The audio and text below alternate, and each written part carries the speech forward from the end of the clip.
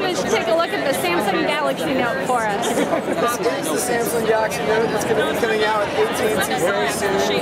Uh, we just announced it earlier today at CES.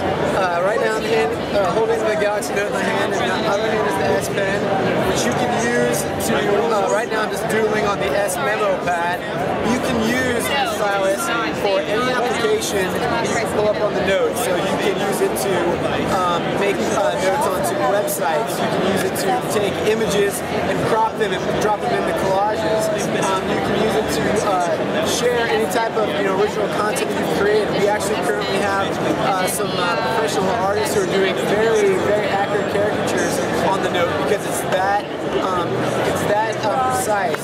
You can uh, press uh, harder on the pen to determine different different levels of sensitivity and different levels of thickness on the pen. You can go through uh, different colors. You can um, actually text with the pen as well. It has just a huge amount of functionality across uh, every single thing that the Note does. And we think it's going to be uh, a really great device for anyone who's looking to capture, create, and share content.